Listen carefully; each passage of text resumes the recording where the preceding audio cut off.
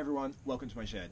Today is part one of a series that I'm going to do on um, generating electricity from biogas. So all those food scraps that you throw away, uh, maybe they go into the compost, maybe they go to the, the council to compost themselves, we can make electricity out of them. We can digest them in a biogas digester, produce methane, and then we can use a generator to put that energy into a battery. So today in part one we're going to make a small digester then later on we're going to look at the storage we're going to look at how we can compress that gas and then how we can use that in a generator. And finally something I'm really excited about is how we can automate that whole process. So let's get into part one how we're going to make this small biogas digester. The main part of the digester is this 220 litre plastic barrel. Um, got it off eBay. Uh, it cost 20 20 pounds I think I had to pick up obviously.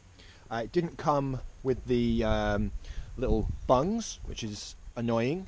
Um, seems to be a, a good trade in them. I think if you buy these they cost as much as the the barrel does. But I've got some uh, adapters that I'm going to put into that and then I'm going to use those to as part of the system. So it doesn't mean that it's actually um, it's not a bad thing. We're going to put the pipes in here and we'll take the gas out of those but we'll get into that later so that's obviously the the main part of the digester just a, a small 220 litre um, barrel let's go and have a look at the other stuff we've got bits of, from different sections here so these are the adapters that go in the top of the, the barrel um, and then what we're going to do is we're going to have these um, adapters sat in them and then pipe on that and then the gas is going to come out the top of that. So we have two sets of those.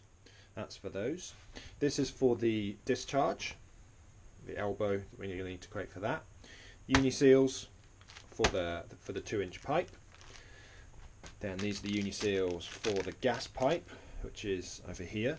It doesn't need to be this gas pipe because um, it's not under any pressure, but um, this was just as cheap as getting plastic. This was like eight quid off Amazon. So got that. the uh, some clips to fix that. Now the wire wool and the cat's litter is for the scrubbers. Three scrubbers. These are just plastic um, containers that I got off the internet. Again, they're like three quid each. So we're going to have cat's litter in one, water in another, uh, water, cat's litter, and then the wire wool. So the the water vapor, the gas goes into water, takes the carbon dioxide out, through the cat's litter to take any water vapours out, then through um, the wire wool, which then takes the hydrogen sulfate out. Um, then that then goes into our storage tank. We also have up here, um, this is um, a second-hand incinerator, so it's a waste disposal, um, and then we've got a big funnel there and an adapter to go into that. Got to cut the bottom off that. There's nothing I can find to adapt that. So that's that's probably going to be in part two that, but this the setup we're going to do today, we're going to look at uh, putting all as much as we can together and see how far we get. Okay, so we've um, used a 13 mil drill bit and we've cut a hole in this. So we're going to put a uni seal in that hole for the uh, the gas pipe to come out of the digester, and then the into the um, scrubbers we have again some 13 mil holes drilled in there through the back a little bit of issue with the, um, the thing but it should be okay. So what we're going to do now is just give that a little bit of a sand.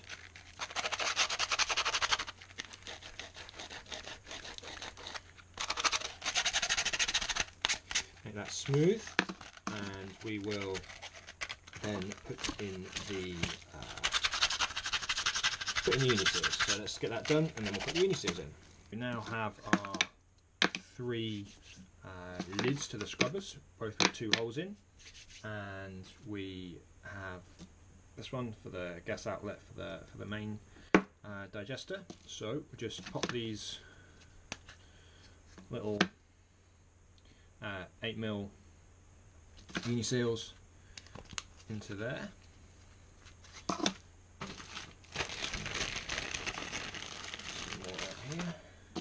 I'm just going to measure the um, pipe, measure the pipe to go between the scrubbers. So it needs to go uh, obviously into one, then out from the top of the other into the bottom of another. So we go from the bottom to the top, and let's say make sure it's got a bend on it, so we'll give it to there.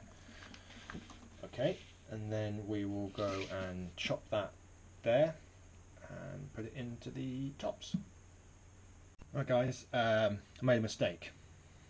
This is 8mm gas line, but that is the internal diameter there. Um, so it doesn't fit in my 8mm uniseals.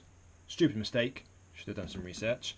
Luckily, I found some 8mm piping just in the shed, so we've got something we can use and we'll go on and use that. So, we will continue, same thing, put some Vaseline on the end of that. We've got our one that we did before, and just in he goes. So just needs to go to the to the top with this because this is for the the X. Taking it out of this one. And it's going to go into this one so. We'll do the same thing here. Just and then yeah I know this uh, this pipe is very dirty it's we'll wash it out. That can happen. Okay. In he goes. Okay let's go right to the bottom.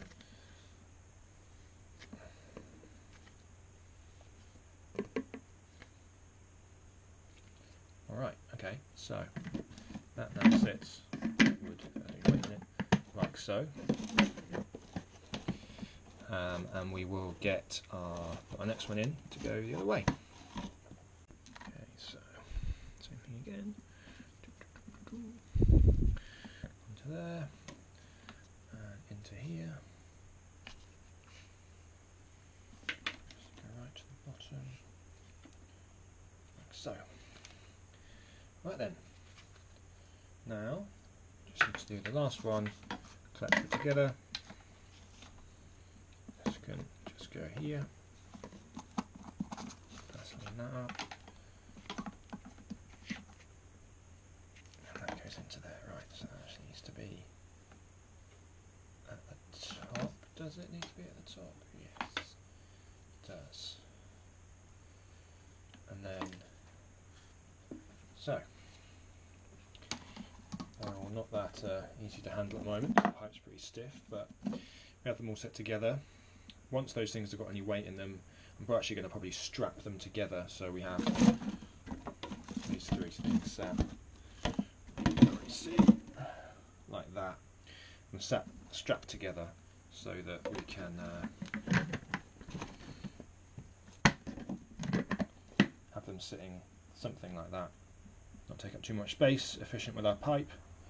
Um, yeah, alright, although the seals look a bit dodgy under stress, so we'll have to see how that goes. Okay, so we want two 1.5 metre long uh, lengths and then we want two smaller lengths for our um, gas outlet. So let's measure 1.5 on this.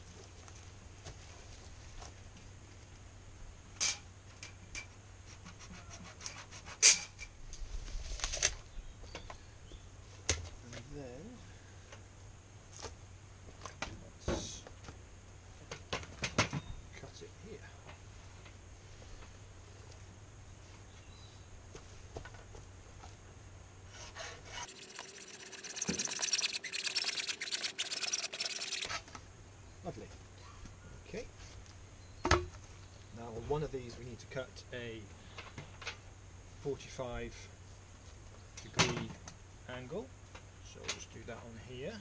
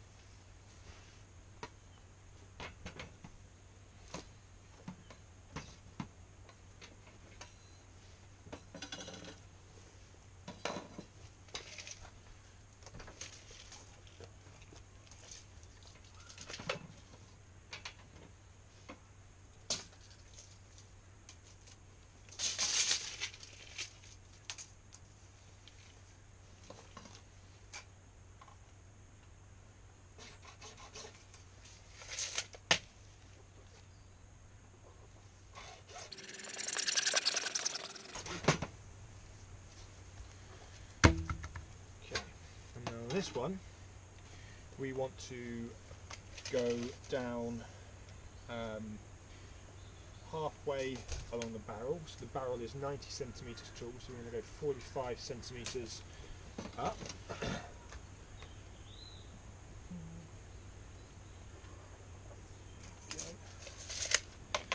Cut a small hole, small hole there. This is for the um, effluent outlet.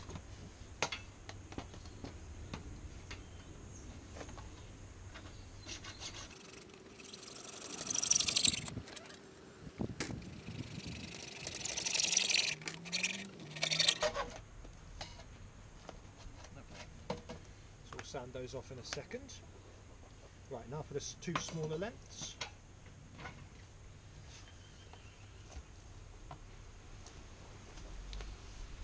So we just want to just a chunk, maybe 10 centimetres. That.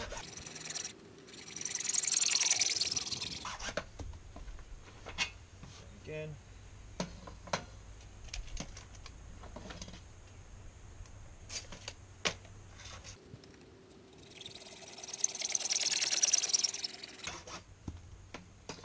Sun's coming out, lovely. Okay.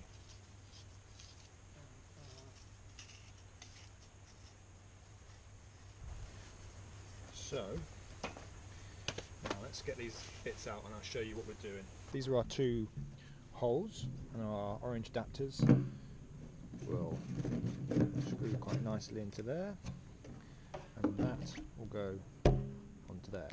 Um, when we come to put this all together finally we can we'll glue all these together.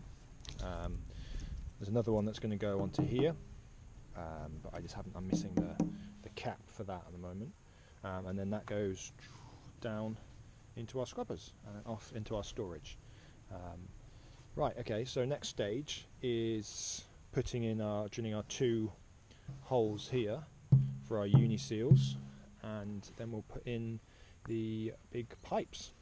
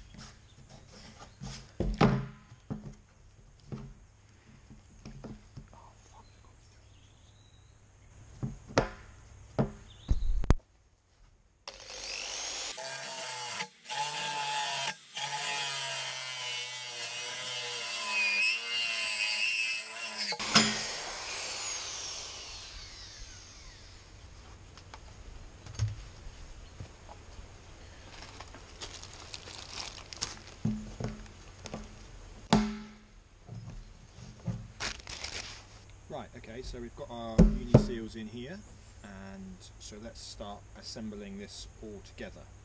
I'm going to put the plugs in, and then attach those onto there, and then we'll put the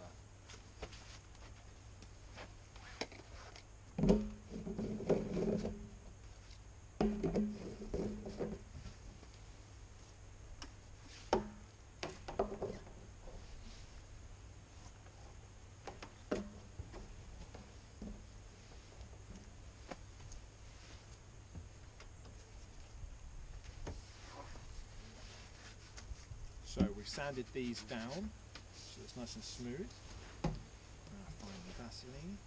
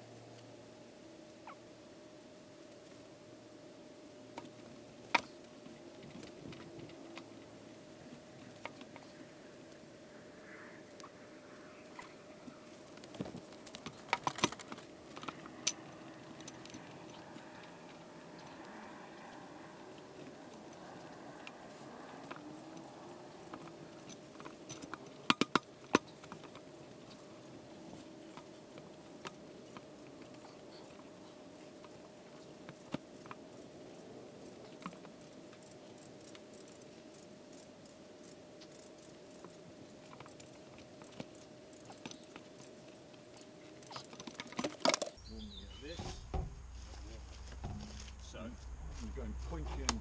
Pointy end in. So I think.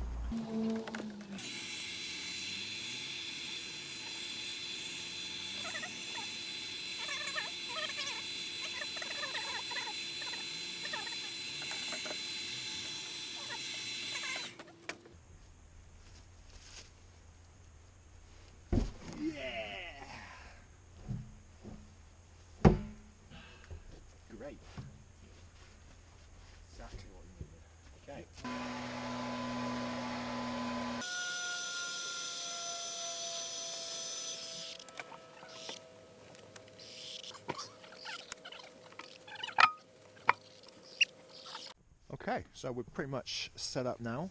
Um, got the big pipes in, inlet and outlet, and then our scrubbers are all attached here.